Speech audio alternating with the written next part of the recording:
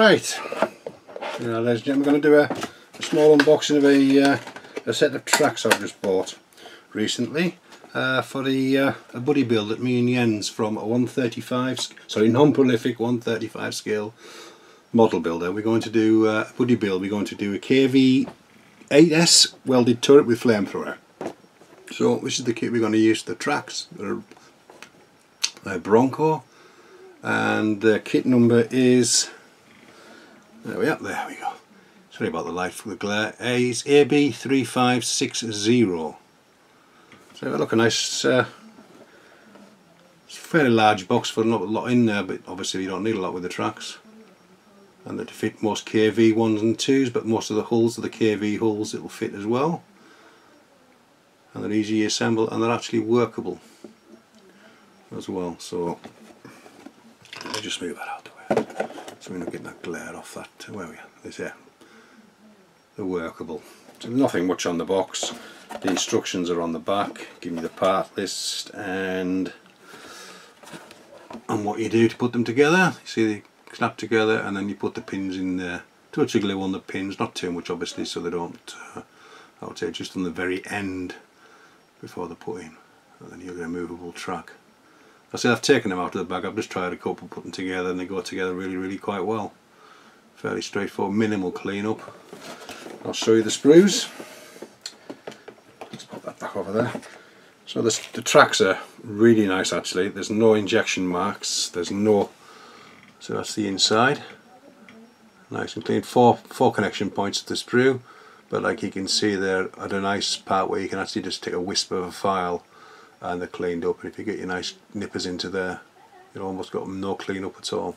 And on the other side again they're really really nice. Nice detail as well. And they've got that almost casting the, the texture on the actual track as well which is nice. I think I paid about £14 for them um, somewhere in China. I can't remember off the top of my head. Somewhere in eBay that I usually use and they're very good actually. They must admit they I can get some stuff from China from uh, I think it's Dawn Grocery off of eBay shop um, from China in less than 10 days. Sometimes it's less than bloody a week at, uh, in some in some cases. And the prices are really good. So that's the track itself. And then we have a set of we have uh, a bag full of sprue and the sprue with all the pins they're plastic pins but they're again easy to clean off, nip off at the ends. The end pieces where they're attached to the sprue are the actual bolt looking at the end. So hopefully there again, once you get them in, there should be no cleanup, no cleanup needed. Again on those. And it says we need per side, but it says only we need obviously two sets, and it says, it did say, I'm sure already it says 88 pieces per side, uh, per track. And there's also a little template to give you there so you can make eight tracks at once. I've done a little bit of, I've done one. Really easy to see, I've only just took basically took them off the sprue, give them a quick with a file, tracks themselves and just done these two. I'll just put a little piece of glue on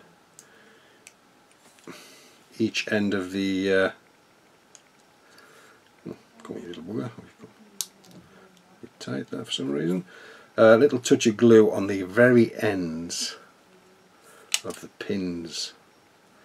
So you know you got that workable track inside see? Sorry. The workable track nice and easy. And the pins just go in you can see the pin on that one. In there and all I did was I put a toucher Tamiya extra thin just on the end with a cocktail stick. And again on that side as well. And if you do need to file it you can just once you've got the set run done you can just give a little file across the top. And they're good to go. So yeah nice and simple. Nice and simple to put together and the workable which is a bonus. Because obviously you can pause the tank as well. And you get that sag if you make it, obviously you can pause it if you've got workable suspension. But uh, the way I'm going to do this, I think it's going to be just a standalone build I think, I'm not too sure yet. But I do like the tracks and they look nice and easy to put together which is an extra bonus, just time consuming but uh, you can do these in an even way sitting doing something you can take them all off the oh, all the tracks apart first um, into a two pots just file away the edges it needs to be filed away or sanded in some cases if you've got a nice pair of nice pair of cutters. I use the Tamiya ones and you can get right in with right into the tracks with these because they're not awkward to take off. Nice and simple. Minimal cleanup and then there's a lot there's a lot to there's a lot to do but uh, get into a rhythm. And away you go. So that's the uh, end of our little small kit review of the Russian 650mm OMSH track link set for KV1 and KV2 workable but they fit most KV hulls like the one on the uh, on the uh, KVS 8S welded turret which we're going to use them for. The workable tracks. And to save a little jig there you get with it as well. Just be careful not to get glue on it like I have there. But once they're in they keep the shape and they're easy to get easy to put together so I recommend I recommend those tracks if you're ever building a KV1 or, or a KV any KV chassis they're a, say, a Bronco kit so thanks for watching and thank you all my subscribers for uh, taking the time out of the day to uh, watch this small review and we will catch you soon with another update for the uh, the Whippet. So this is Greg signing off and we'll catch you very very soon.